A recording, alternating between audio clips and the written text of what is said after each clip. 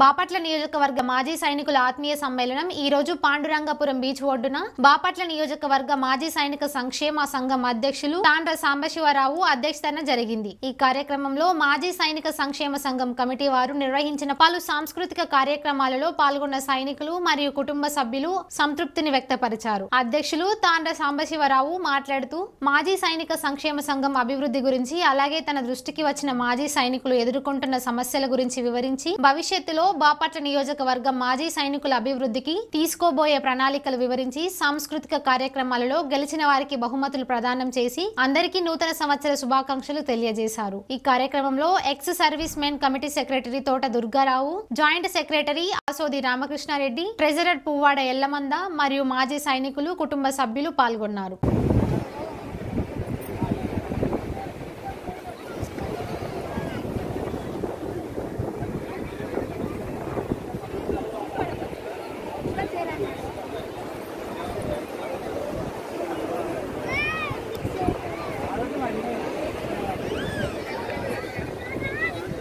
ఢిల్లీలో కరోనా కేసులు వేగంగా పెరుగుతున్నా భయపడ